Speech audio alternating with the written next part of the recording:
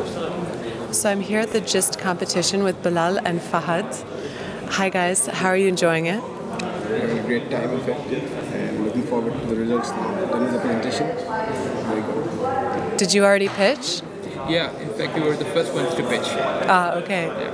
And explain your idea to us. Well, what we developed is a artificial brain control limb prosthesis uh, for amputees. Uh, presently, the options available in the market are very expensive. So, in third world countries, the amputees have no option. So, what we have done is that we have developed a product at one sixth the international price, and it has much more better technology than the present competitors. So, we are hoping that we can provide a solution to the people, uh, amputees living in third world countries like Pakistan, Iraq, and Afghanistan. How are you able to create uh, prosthetics at one sixth the international price? It's because uh, due to the uh, lower overheads that we have, and um, in fact, there are uh, there's a two pro and answer to this question. Uh, the first one being that we have a very different technology that we're employing. Uh, the technology that's, that's that's currently in the market is different, but we have uh, but we have innovated is completely different, and that makes it that helps us to keep our costs down. And secondly, it's about the overheads like uh, you know the companies in uh, in the Western world, like Ottobock, uh, they have a lot of overheads, uh, running expenses. But in countries like Pakistan, uh, here we have uh, much lower overheads. Like if I give you an example, if there's an there's an engineer in, in a company in Pakistan, he would you know be on a salary of $300 per month.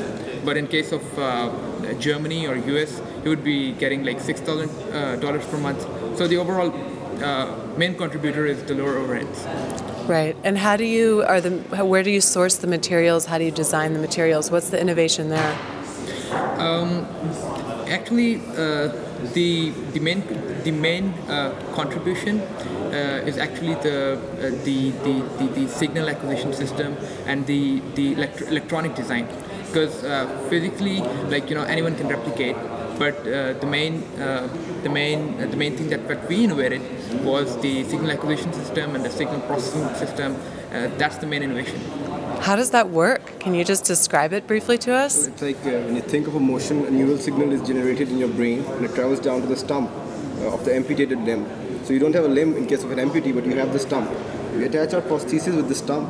So when the signal reaches your stump, the EMG electrodes present in the prosthesis detect that signal and they translate that using algorithm into physical motion. So it's like just a real limb, non-invasive, everything, just working on the surface. So any motion signal that would be transferred to translated to the stump, it's it's fine grained enough to detect hand motions. Exactly, exactly, completely. Because you know, uh, whenever you think something, uh, a different uh, a different area is actuated, a uh, different motor point is actuated, and a different intensity of voltage is actuated. So the EMG sensors are able to detect that that which particular motor point has been actuated by the brain and what's the intensity of that signal.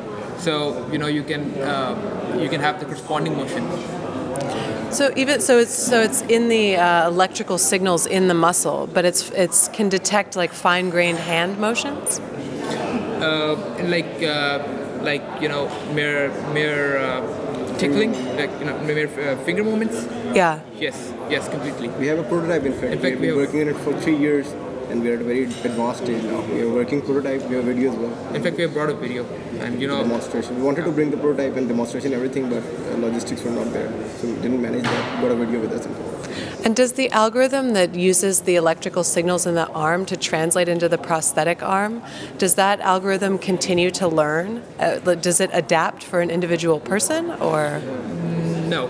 In fact, uh, in fact, the person using it has to adapt to the system because uh, the algorithm is standard. Mm-hmm. and you know almost every per- person has the standard signals st- uh, standard areas being actuated for corresponding motion. But you know the person using it has to uh, get trained according to the processes. it's one week time for train for the prosthesis to get functional it's just one week. Yes. Amazing